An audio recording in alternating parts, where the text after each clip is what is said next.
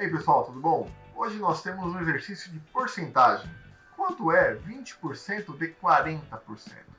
Para a gente começar a fazer essa resolução, nós iremos escrever 20% e 40% na forma de fração.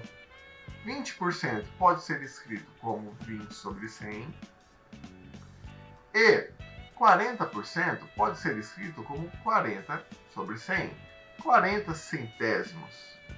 Aqui nós iremos fazer uma multiplicação da primeira fração pela segunda. Vejam só, nós temos múltiplos de 10 em cima e múltiplos de 10 embaixo. Podemos fazer essas divisões. Agora a gente prossegue para a multiplicação das frações. Quando nós temos frações que se multiplicam, devemos multiplicar numerador com numerador e denominador com denominador. Logo, 2 vezes 4 dá 8 e 10 vezes 10 dá 100. 8 centésimos foi o resultado que nós encontramos. 8 centésimos é a mesma coisa que 8 por 100. 8 por cento. Alternativa B.